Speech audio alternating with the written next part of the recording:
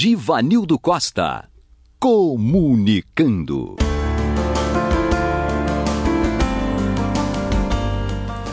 Diante dos obstáculos, fazer o melhor e seguir para frente.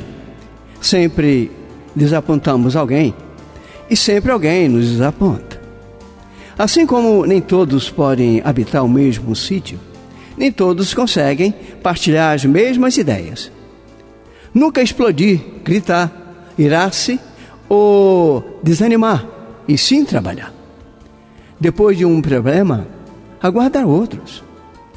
O erro ensina o caminho do acerto e o fracasso mostra o caminho da segurança. Toda realização é feita pouco a pouco. Nos dias de catástrofe, nada de cólera ou de acusação contra alguém, e sim a obrigação clara de repormos o comboio do serviço nos trilhos adequados e seguir adiante. Quem procura o bem, de certo que há de sofrer as arremetidas do mal. Plantar o bem através de tudo e de todos, por todos os meios lícitos ao nosso alcance, compreendendo que se em matéria de colheita Deus pede tempo ao homem, o homem deve entregar o tempo a Deus.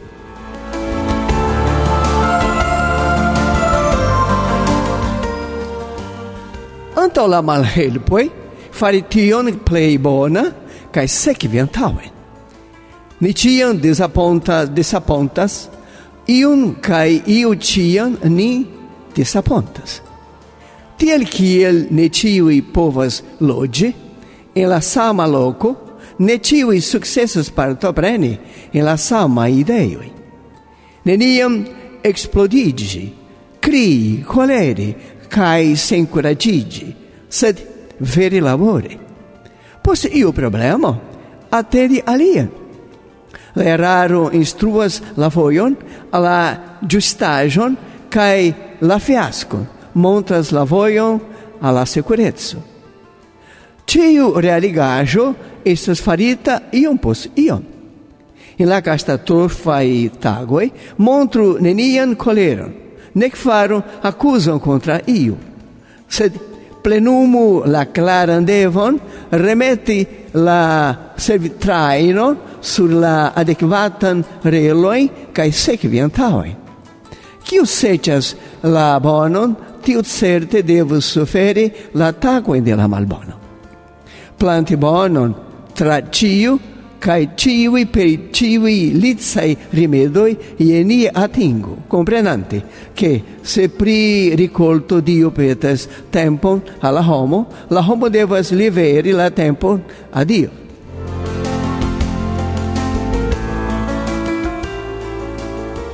Obstáculo, mensagem mediúnica enviada pelo Espírito desencarnado André Luiz, recebida pelo médio brasileiro Francisco Cândido Xavier, em português.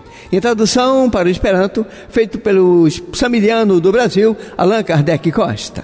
Malhelo, poi, me dio un messaggio sentita della Ricadiginta Spirito Andreu Ludovico, ricevita della Brasila, della Mediuma Brasila, Francisco Cândido Xavier, Portugal. E lá Portugal Língua, Esperanto Língua, traduquigem, lá Esperantisto de Brasilo, Samiliano, Allan Kardec Costa. Está entrando no ar. Esperanto, a língua da fraternidade. Produção do Departamento de Esperanto da Rádio Rio de Janeiro. Apresentação: Givanildo Costa. Yes, buon taga vici che ascoltas me. Mia cara Jefferson, tu fartas buona amico, la família, essas tre gaia, tre gioia, tre felicia, comprenebrio, meu amigo Jefferson na batuta. Buon tago, senhora. Bom dia, gostei desse bom dia, garota. É, pois é, pois é, pois é. Esse garoto que está aqui todo de vermelho, lhe usas Rudian Chamison está usando camisa vermelha, está faltando somente uma cor, hein? Botar essa cor verde, é a cor da esperança que é o verde, grande garoto. Minha amiga Marli Martins, tira o telefone, 336 único var nulo, nulo, minha amiga Marli, no telefone 3386 para vocês. A Marli, que aqui da ilha, tá para lá de esfuziante, feliz da vida, aprendendo Esperanto via online. Você quer aprender Esperanto conosco? Via online? Então se prepare. É toda quarta-feira, de 5 às 7 da noite, nós estamos aí, lá nos ensinando Esperanto para você, hein? no método do professor Aloysio Sartorato. Nós estamos na nona lição. Quer aprender? Não deixe de participar conosco. Maravilha, só entrar em contato conosco. Mas um detalhe para você, é, não vou esquecer jamais, esquecer a família esperantista, nunca, jamais, em tempo algum. Meu amigo Fabiano Henrique, Fabiano, meu jovem, tudo bem? Cadê você? Cadê você no seu helicóptero que não aparece por aqui? Ele disse, Vanildo, hoje eu estou impedido, estou, um, estou serviçal. Ele, ele está doma servisti, servisto. Ele, na verdade, é um trabalhador hoje de casa. Isso mesmo, garoto. Aquele abraço para minha amiga, é a nossa queridíssima amiga Elaine e a Lídia Knesamihoff, mas é Fabiano e Elaine. Aquele abraço, jovens do nosso Brasil. Que maravilha. E quem mais que eu posso falar para você? E eu tenho uma porção de ouvintes aqui, eu tenho uma relação. Essa, eu sempre trago uma relação, chega na hora, a relação some. tá aqui, achei. Pois é, tá aqui que relação, que maravilha. Olha só, vou mandar aquele abraço para minha amiga Wanda e família, Wanda, esposa do meu querido Haroldo, que já está no plano de espiritual. Aquele abraço, minha jovem. Para Claudinha, Claudinha, estou esperando você, garoto, para gente gravar músicas para criança em esperando. Cadê você, minha jovem? A Selene, grande Selene, para o Ismael. Para quem? Para Vânia, esposa do Ismael, para o Vinícius, Vinícius de Moraes. Olha que nome respeitável. O Vinícius de Moraes é filho do nosso queridíssimo Ismael. Aquele abraço abraço. Quero mandar aquele abraço também para quem? Para Maria José. Maria José, ela que esteve recentemente lá na, na Espanha e olha, lá na cidade de São Luca de Barramega, que maravilha, hein? E aí ela viu a importância do Esperanto, Ivanildo. Eu fiquei muda lá, todo mundo fala espanhol, não falo nada. Se eu soubesse Esperanto, pelo menos procuraria os Esperantistas. Pois é, minha jovem, não tem, ainda tem tempo, Maria José, vamos aprender aqui, vamos aprender Esperanto, minha jovem. O TEP vai começar a ensinar Esperanto, e deixa passar a pandemia. Para Silvina Leal, essa seu garota que não deixa o programa de Esperanto, aquele abraço, Silvina Leal. E também para Clara Pancieri, para o Flávio Fonseca e para Cristina Pancieri. Aquele abraço, que maravilha. Só gente, ah, só gente, espíritos que no ideal impressionante. Aquele abraço para todos vocês que nos escuta a cada semana e nos vê também, né? Mas escuta só o que ela disse. Essa é para as mulheres, eu separei para as mulheres especificamente. Hein, pessoal? Preste atenção o que é que ela disse. Atenção, mulheres. Você que está em dúvida do Esperanto, quero aproveitar esse mês que é o mês é, rosa, não é isso? É, chamando a atenção sobre o câncer de mama, que tem sido ainda grande instrumento de sofrimento para quantas mulheres e até para os homens, porque também, também tem câncer de mama, não sei se você sabe disso, né? E então é a maravilha, é, essa uh, campanha, pois está conscientizando a todos nós e eu vou ler aqui um depoimento, ela falando do Esperanto, ela como mãe de família, que é a Cataline Kovacs.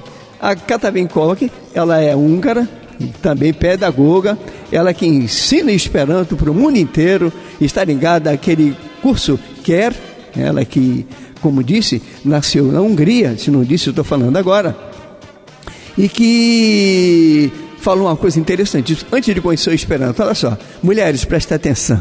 Para todo mundo, não as mulheres especificamente. Olha só o que, que ela disse. Nas últimas semanas de gravidez do meu primeiro bebê, quando estava internada no hospital durante longos meses, subitamente comecei a pensar no Esperanto, sobre o qual já tinha ouvido várias vezes na minha vida. E pedi ao meu marido que comprasse para mim um livro didático e um dicionário. E aqui está o um nome em húngaro, que eu não sei, mas tem aqui em português: 30 Dias com Esperanto. Era o título em húngaro do livro, o qual estudei intensamente antes do nascimento do meu primeiro filho. Foi um grande prazer, levando em consideração a minha incapacidade, naquele momento, toma posse de uma língua a ponto de ser capaz de me comunicar com todo mundo dentro em poucas semanas. Vocês gostaram? Eu gostei muito. Nós temos aqui a seguir, meu jovem Jefferson. Esperanto em pequenas doses.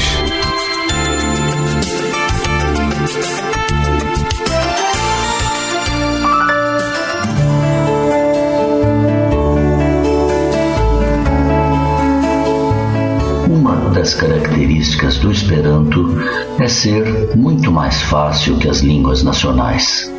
Zamenhof, o criador da língua internacional, eliminou ao máximo as irregularidades e exceções gramaticais, de modo que conseguiu resumir a gramática da língua em apenas 16 regras simples. Veja, por exemplo, a regra de número 2. Todo substantivo termina em o. Tablo, mesa. Viro, homem. Virino, mulher. O plural se forma sempre com o acréscimo de um J que se pronuncia como I breve. Exemplos: tabloi, mesas, viroi, homens, virinoi, mulheres, la virinoi, as mulheres. O objeto direto, também chamado modo acusativo ou complemento dos verbos transitivos diretos, se forma com o acréscimo da letra M. Assim, mi legas la libron, quer dizer, eu leio o livro. O acusativo é o único caso do Esperanto firmado por motivo de clareza os demais casos são regidos por preposições, como em português. Libro de Carlo, livro de Carlos. Libro por infanoi, livro para crianças. Mi iras ao mia domo, eu vou para minha casa, e assim por diante. É por isso que o Esperanto é muito mais fácil.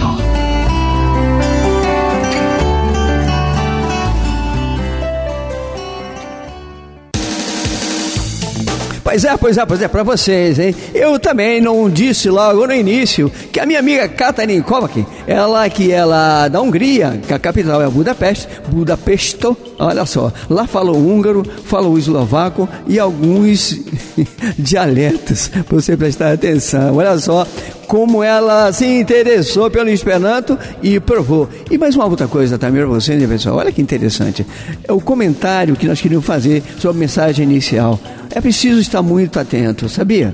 Esses obstáculos estão em nossas vidas a cada instante, a todo momento. E essa mensagem do André Luiz, ele diz uma coisa aqui que o pessoal diz assim: olha só, quando você estiver recebendo situações essas que obrigam você a pensar mais sobre você próprio, espere a próxima. que o plano é de expiação de prova. Predomina mais o mal que o bem. Então, a toda hora, quem não gosta do bem, cria mil situações. Quantas vezes? E outra coisa, presta atenção, hein? É comum a gente fazer isso. Olha só, em nossos lares, como às vezes, quantas e quantas vezes não, quantas e quantas vezes a gente explode no lar, não, não?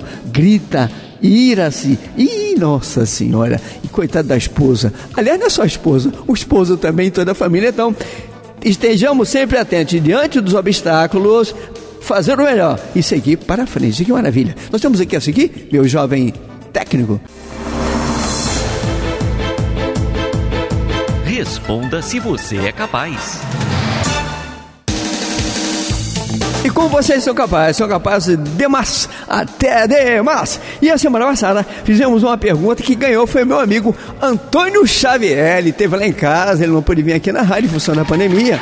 E ganhou um brinde maravilhoso, que foi um CD da minha amiga Neide Barros e também um livro.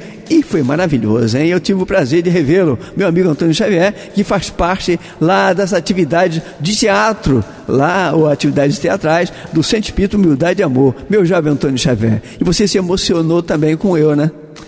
Procurando o Celso Martins. Onde é que está o Celso Martins? Celso Martins, cadê você, garoto? Sentimos a sua falta. Pois é, pois é, pois é, pois é. Então, a semana passada, nós fizemos uma pergunta que muita gente acertou. E foi muita gente mesmo. Que foi a seguinte: quem disse essa frase, o Esperanto unirá a humanidade? Demos três opções e a correta foi a letra C.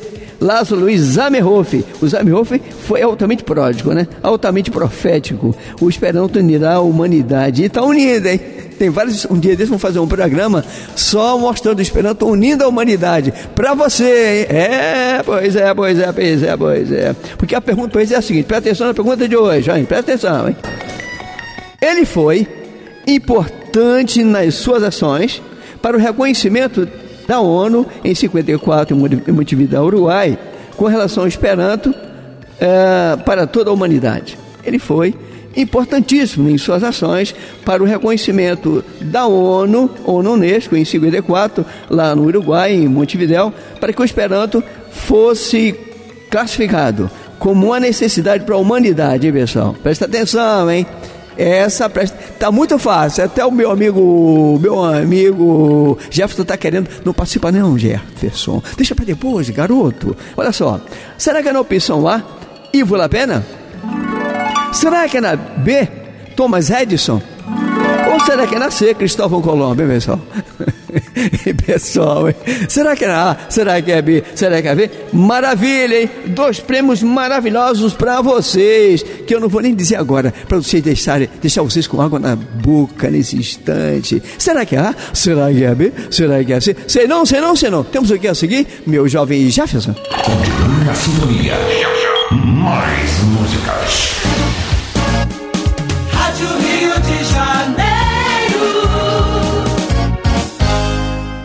Estas são as manchetes do plantão esperantista de hoje. Associação Paulista de Esperanto reativa canal no YouTube. Grupo Esperantista lança disco hoje. Acervo de revista brasileira em Esperanto liberado na internet. Recomendações sanitárias passam longe de evento esperantista na Lituânia. Um giro pelo movimento esperantista. Esperantista baiano retorna ao plano espiritual aos 105 anos. Detalhes dentro de alguns minutos no plantão esperantista. Entrevista.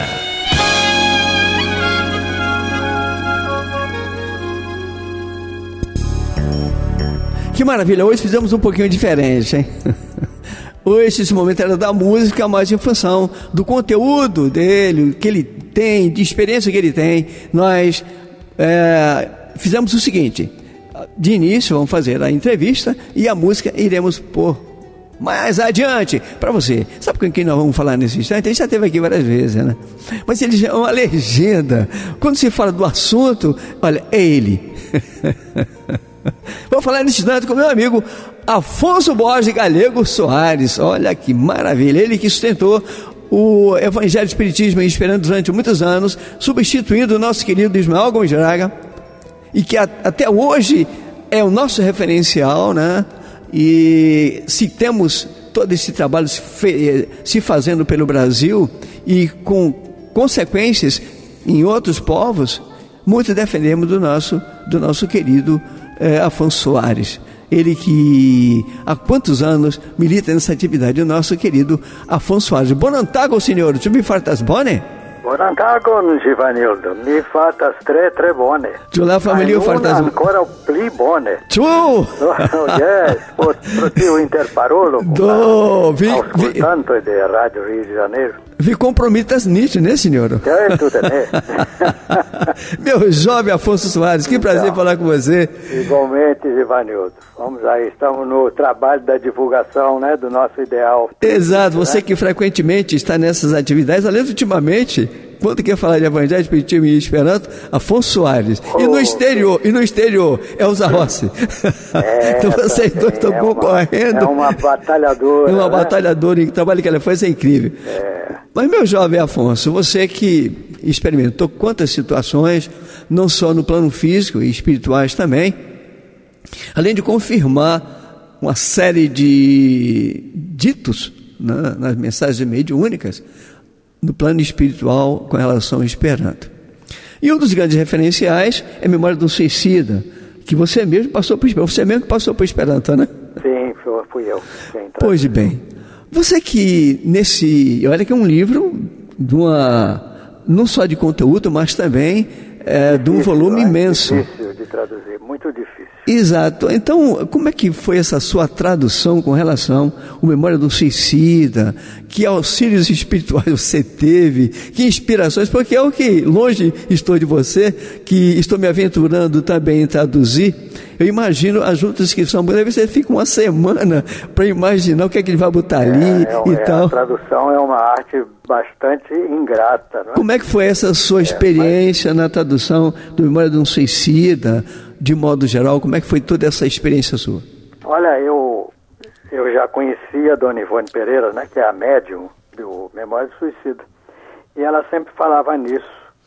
E um certo dia ela disse o seguinte: Olha, até agora todos os grandes esperantistas que estão aí não se abalançaram em fazer essa tradução.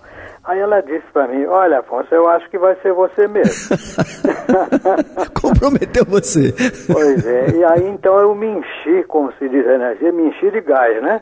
Falei, não, eu tenho que fazer, vou fazer.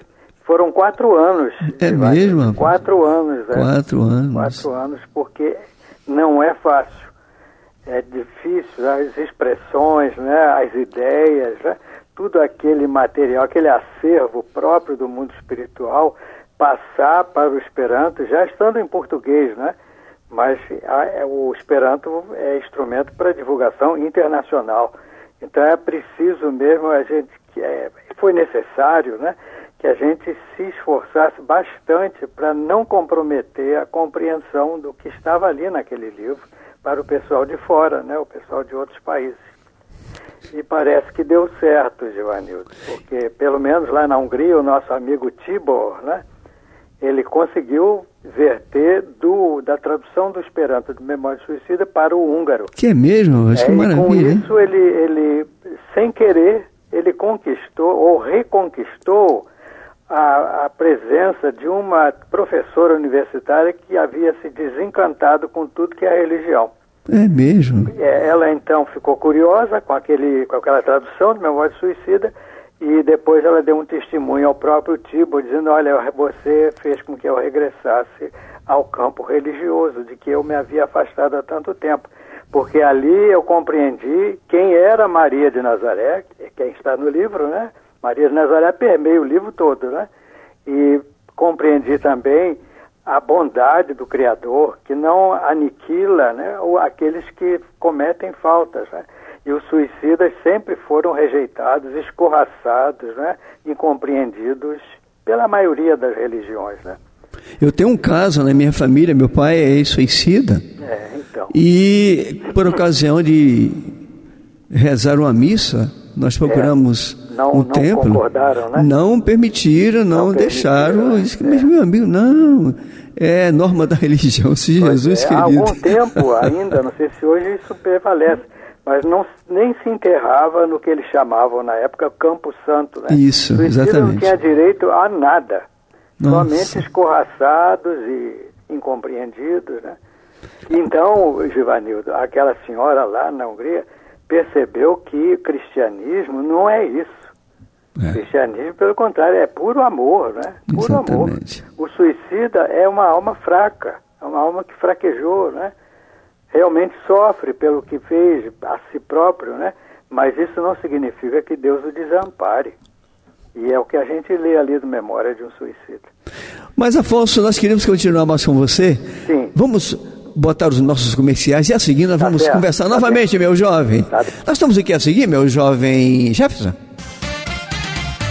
O mundo do Esperanto está ao seu alcance na Cooperativa Cultural dos Esperantistas. A maior disponibilidade de cursos em todos os níveis. A mais movimentada agenda cultural. A maior variedade de livros, CDs e DVDs. Avenida 13 de Maio, 47, sobre loja 208, no centro do Rio de Janeiro. Telefone 2220-7486. Na internet www.kke.org.br. Cooperativa Cultural dos Esperantistas. Tradição de mais de meio século a serviço do Esperanto.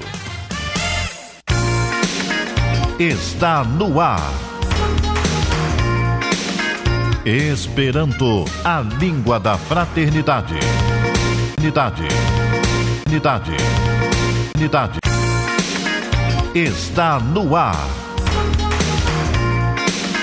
Esperanto, a língua da fraternidade. Esperantista baiano retorna ao plano espiritual aos 105 anos. Num oferecimento da Cooperativa Cultural dos Esperantistas. Plantão Esperantista. A Associação Paulista de Esperanto reativou seu canal no YouTube. O espaço, chamado Viva Gazeto, contém filmetes e apresentações de palestras realizadas na sede da entidade. O destaque do mês é a mais nova edição da série Língua Provoco, Provocação Linguística. O endereço é www.youtube.com barra Viva Gazeto. Acontece hoje o lançamento mundial do novo álbum do grupo La Perdita Generacio. O disco foi gravado ao vivo durante o show da banda, realizado por ocasião do Congresso Norte-Americano de Esperanto de 2018 em Seattle. O trabalho, disponível em plataformas digitais, foi uma coprodução da gravadora Vinyl Cosmo, do próprio conjunto e da Liga Esperanto USA. A Liga Brasileira de Esperanto liberou o acesso às edições eletrônicas da revista Brasília Esperantisto. O acervo abrange o período 2005-2020. Brasília Esperantisto é um dos periódicos mais antigos ainda em circulação no Brasil e o terceiro do mundo na língua internacional neutra. O material está disponível em www.esperanto.org.br. Recomendações sanitárias passam longe de evento esperantista na Lituânia. Detalhes com Julieta Dulce. Um giro pelo movimento esperantista.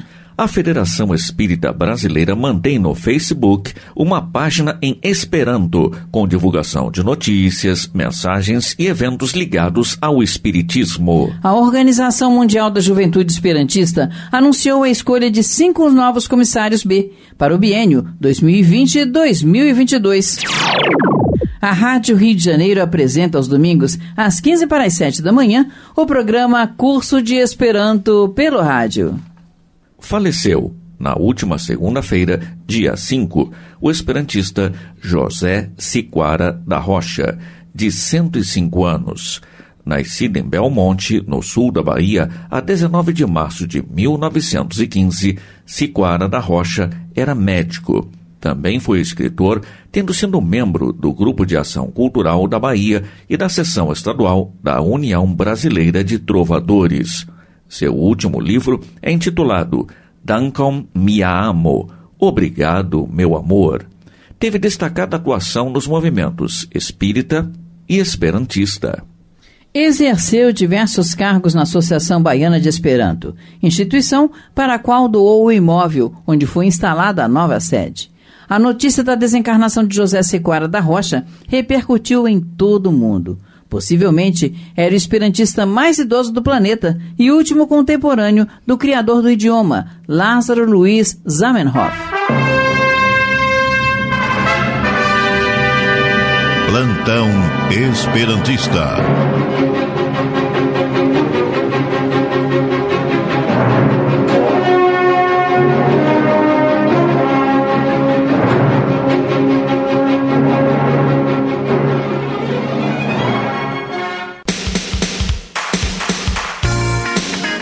Está no ar.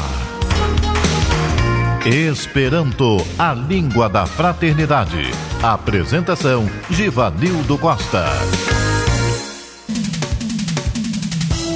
Pois é, pois é, pois é, diz pra gente, urgentemente, quero que você diga, hein? Olha só, pessoal, essa pergunta, até o Renan lá de casa, ele já sabe, vô, isso é pergunta que se faça? Até eu sei que não conhece nada de Esperanto. Presta atenção, ouvinte, olha só. Ele foi importante com suas ações para o reconhecimento da ONU em 54, em Montevideo, Uruguai, com relação ao Esperanto, é, visando a toda a humanidade, hein, pessoal? Ou seja, esse trabalho que foi feito lá foi mostrando a importância do Esperanto para toda a humanidade, hein, pessoal? Presta atenção, será que é na opção A, Ivo La Pena?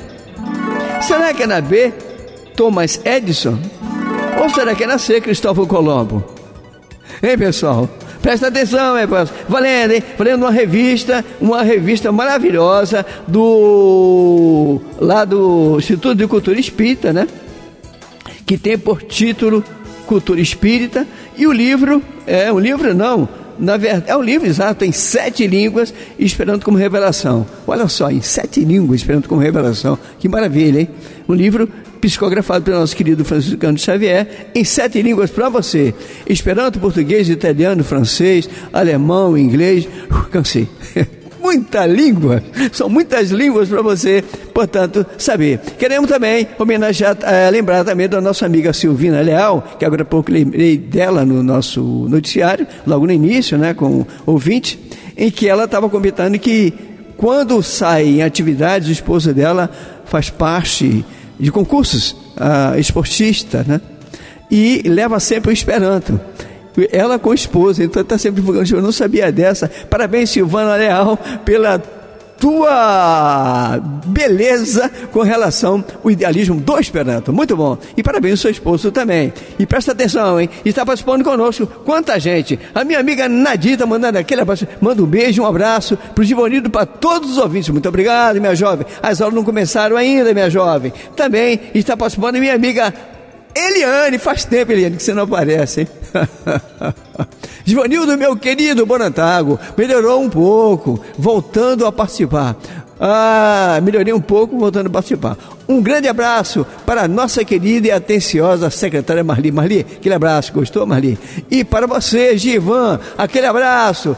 Portanto, ele está dizendo que a letra é A, né? Sempre aquele abraço de estelar os ossos e botar assim, Cristóvão Colombo? Só se fosse em outra encarnação. Alexandre mandou um abraço hoje e não pôde ouvir o programa. Obrigado, minha jovem. Está dizendo que a letra é A. A Odaléa, lá do lado de Avaldo Pinto, está dizendo que a letra é A. O que mais? O Fernando de Madureira tá dizendo que a letra A. E disse assim: um pensamento, olha o pensamento dele. Diante do pouco progresso, já conseguimos, já conquistamos não que conquistamos, não nos basta confiar tão somente em Jesus, mas é preciso agir de tal maneira a fim de que Jesus possa confiar em nós. Isso aí tem toda a razão, concordo. E muito para você, que coisa maravilhosa. Tem mais alguma coisa? Tem. Para dizer para você ainda que, olha, depois da pandemia, cursos virão por aí, hein? presta atenção. E uma outra coisa que eu achei interessante. Ontem, os amigos lá do movimento esperantista do lado de Alagoas ah, desenvolveram um trabalho interessantíssimo na rádio e televisão Espírita Brasil e participaram alguns companheiros, né? o nosso querido Neide, a Ioiô, né? Eh, Jatobá, e também o nosso querido, um jovem talentosíssimo, que é o Quirino, foi muito, muito legal o trabalho deles, conversando com os esperando, vocês esperando cada vez mais chegando. Vocês querem ter maior contato com essa rádio? Então entre em contato www.radiobrasilespírita.org.br Portanto, tem aí mais um canal para divulgar Esperanto para você. Mas vamos continuar com o nosso querido Afonso Soares, naquele nosso bate-papo. Afonso, meu jovem, você está nos escutando? Estou aqui, estou aqui. Vamos tô lá, meu jovem. Desfrutando desse noticiário rico, né? rico? Você é. sabia que o Siquara tinha desencarnado, né? É. Siquara com cinco, 105 anos, rapaz, olha aí. 105 anos, é Nossa, vida, né? um espírito de um, um valor incrível. Ele era espírito esperantista, que trabalhou só pelo bem. Mas, meu jovem, como estava colocando agora há pouco para você, nesse momento das, nas suas, na, na sua tradução, você teve algum insight mediúnico, alguma inspiração? Porque sempre acontece isso, né? Você vê alguma coisa, eu, né? Olha, eu quando comecei, eu foi doutor Bezerra quem chamou, né, para fazer o. Ah, foi doutor Bezerra que chamou? Esperanto, né? Eu não sabia, doutor Bezerra é, chamou? Foi doutor Bezerra. Eu tenho as mensagens aqui, uma coisa muito bonita. Pois bem, então ele disse o seguinte: que eu me debruçasse né, sobre esse trabalho, que seria o melhor fruto que eu poderia dar seria esse, né? Porque é alguma coisa que eu adquiri em vida passada e eu poderia passar no Esperanto. E ele disse assim: E acredite, meu filho, mais ou menos assim, que almas também laboriosas vão se debruçar sobre você e vão te ajudar no trabalho de tradução. Comece já pelas mais alentadas, né? Então, eu acho que é, sempre, sempre, sempre havia a inspiração, ajuda dos espíritos para solução dos grandes problemas de uma tradução, né? Agora, é, eu lendo o livro, né, em português, esperando aos poucos eu estou lendo, e como você sentiu naquele momento da tradução, em que é, aqueles estudos que eles fazem lá Na nesse colônia, né, grupo, no- nessa colônia de, de Maria, Maria de Nazaré, Nazaré. é, em que você viu o Esperanto sendo estudado, e o que me chamou a atenção bastante foi temas incríveis, como, como cosmogonia. Eu nunca tinha escutado falar desse assunto. E outros assuntos, inclusive falando de planos superiores. E eu não sei se nesses planos superiores eles falam, ah, naquele capítulo, na casa do Pai tem muitas moradas, que são as diversas moradas, não só espirituais, mas também os planos de vida dos planetas, de um modo É, geral. esferas espirituais, né? Mais, mais adiantadas, né? Exato. Como é que você sentiu estar naquele momento todo esse processamento? Tá me ouvindo? Tô ouvindo, É, ouvindo. você deve estar fazendo referência àquela tal Universidade Esperantista do Exatamente. Astral, né? Que, alô? Sim, estou escutando, pode continuar. É, Universidade Esperantista do Astral, que era prática, que é, deve, continua sendo, né? Assim, o núcleo difusor do ideal do Esperanto em todo o planeta. Então, quem dá notícias disso muito bem é justamente o Memória de um Suicida. E, enfim, a história do Esperanto, ela está toda enraizada no plano espiritual. Era esse mais ou menos o tema sobre o qual nós conversávamos antes, né? Gilmar? Exato. Então, o Esperanto, porque muita gente pensa que Esperanto é coisa só daqui, da Terra, né? E por isso até o espírito, os espíritas também às vezes têm ideias um tanto equivocadas sobre o Esperanto no movimento espírita. Mas ele surgiu lá no mundo espiritual. né? Agora- Então, é, mu- é, antes de se estabelecer aqui, já existia lá. Sim, agora, é, lendo outras é, mensagens, assim como também é, livros, terminaram, se terminaram em livros, tem alguns livros que nos chamou a atenção muito, enquanto é, essa relação, esse processo linguístico no plano espiritual. Eu estou lembrado que, lendo em uma das obras do nosso querido ah, André Luiz, tem um caso de obsessão interessantíssimo, não sei se é a sua reação, em que o espírito obsessor ele falava um- uma língua antiga lá da Itália, que, eu- que ele me chamou a atenção. O processo obsessivo era de tal maneira, tão enraizado, que a língua em que ele falava, e quando aconteceu o processo em si, ele trouxe para si até nesse, naquele processo de obsessão em que as pessoas estavam sofrendo profundamente. Ou seja, está confirmando, assim como também é, você vê lá em nosso lar, precisou-se de um de um secretário, no caso, um enfermeiro que fosse poliglota para receber aqueles que tinham desencarnando, estavam desencarnando na Segunda Guerra Mundial. E aí confirma-se todas aquelas comunicações através do xenoglossismo, e que as pessoas acham que todo, é como disse semana passada, através do nosso querido eh, Geraldo Campetti, com relação a essa série de restrições que existe também linguística no plano espiritual, que você estava agora há pouco comentando, não? É isso mesmo. Uma das grandes revelações que, que vieram principalmente pelo Francisco Lorenz, né? naquela mensagem célebre, né? fundamental, que se chama o Esperanto como Revelação, é exatamente isso. É tirar de nós a ideia de que a linguagem pelo pensamento é a única linguagem dos espíritos. Não é assim. Isso só acontece em altas esferas espirituais em que há realmente a comunicação pensamento para pensamento, né? e imagens, ideias, né? conceitos, mas as esferas próximas à Terra, né? elas ainda estão sob o domínio do, do- da, da língua, do idioma articulado. Né? Então, no mundo espiritual, existem todos esses campos de ação de diferentes coletividades, povos, culturas, em que ainda os espíritos estão atrelados àquela à necessidade de se comunicar por línguas nacionais. Então, o problema linguístico, ele não é exclusividade do mundo físico. O problema linguístico é também lá do mundo espiritual, a tal ponto que o, o próprio Lores, na revelação, na, no, na mensagem, né, esperando como revelação, dá notícia disso, dá, dá notícia de que, num determinado momento, houve uma iniciativa lá no mundo espiritual para que se criasse um idioma que favorecesse o intercâmbio entre essas diferentes comunidades linguísticas no plano espiritual. É então que é, especialistas, né, como é dito na mensagem, especialistas de fonética, etimologia, onomatopeia, eles então começam a construir uma língua internacional para uso nas regiões espaciais vizinhas da Terra. Mas eles não têm êxito, eles levam muito tempo, mas não conseguem solucionar o assunto.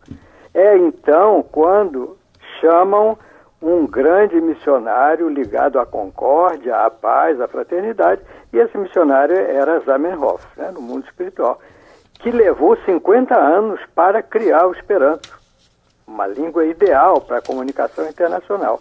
E ali na mensagem do Lorenz é dito o seguinte: logo que ele está criado, a língua internacional, se instalam academias de ensino da língua nos planos espirituais conexos às nações mais cultas, cultas né, do planeta. E, finalmente, lá por volta de 1859, né, o Zamenhof, então, reencarna para trazer esse grande, essa grande conquista para o plano material, é, confirmando, não é, Givanildo, uma grande verdade, que todo progresso no nosso plano físico tem raízes no plano espiritual. Tudo que nós temos de bom aqui, anteriormente já ou já estava instalado ou estava em processo de construção no mundo espiritual. Esse... Ele então reencarna, né, o Zamenhof, com ele vem uma grande falange de ajudantes dele do plano espiritual, reencarnam todos juntos, né?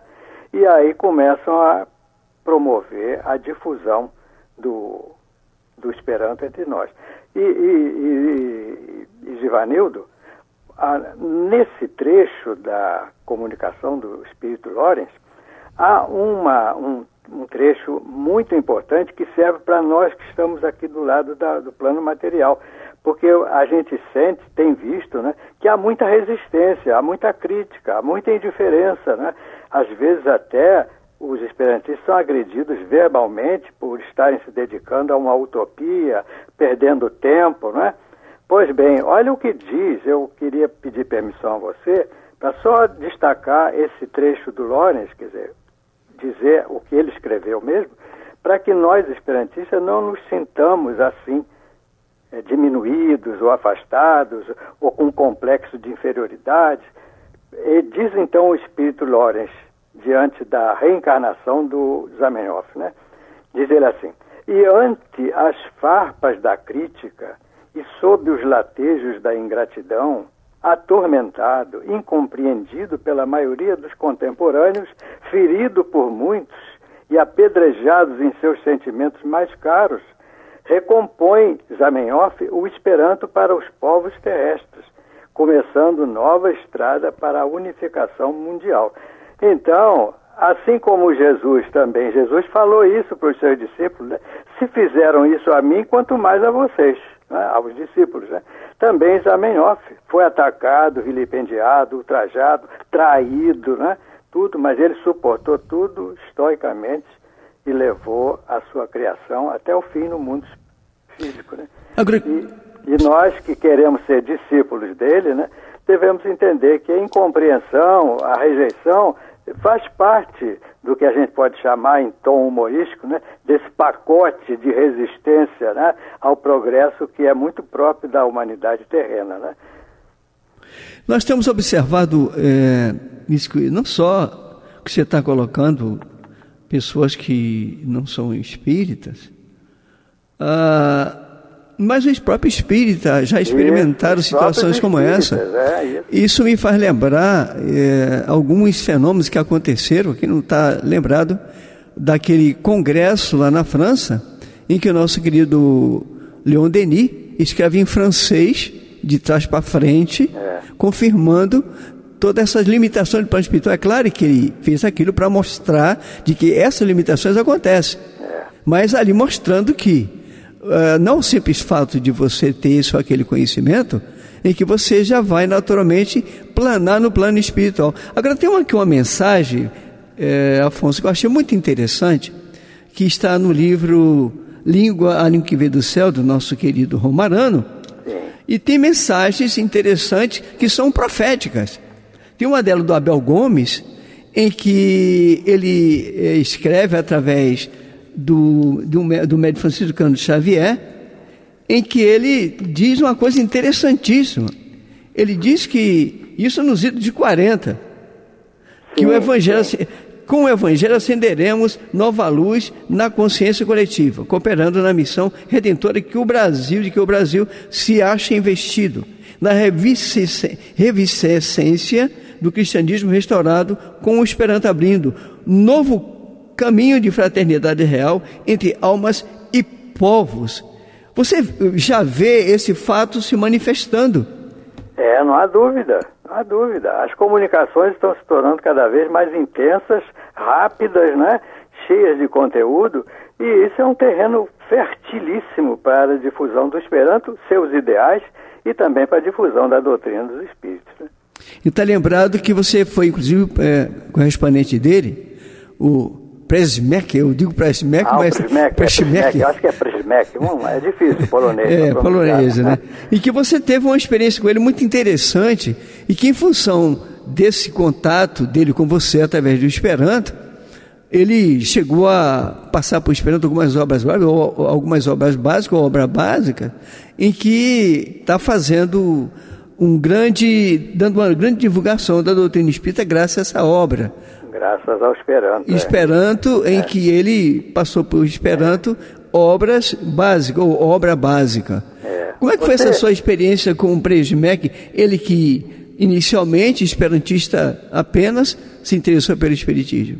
Foi, bem, ele, ele nos escreveu, isso está no Reformador, um Reformador antigo, ele nos escreveu dando notícias, era ainda muito jovem, né? tinha saído da adolescência, eu acho. E então ele estava realizando experiências espíritas. Mas aquilo, quando eu li, eu achei aquilo um tanto perigoso. Né? E aí começou a correspondência. Ele escreveu em Esperanto e eu respondi e ficamos nos correspondendo um longo tempo. É, felizmente conseguimos disciplinar um pouco os ímpetos do Prismec naquela época, né? Muito inexperiente, muito novo, né?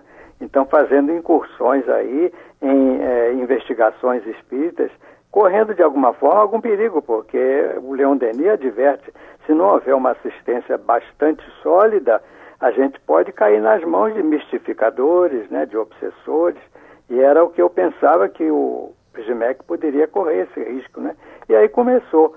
Ele então se interessou bastante pela doutrina, mas não mais aquela, aquela antidoutrina em que ele estava, né? Aquelas experiências, manipulações, é, mesa com copo, enfim, todo esse conjunto de práticas que não tem nada a ver com a doutrina espírita. Aí ele come, começamos a mandar para ele as obras já traduzidas aqui, né? Aí ele se encantou, né? Faltava somente isso para ele. Afonso, que pena que nós estamos terminando o é, nosso programa. É, é.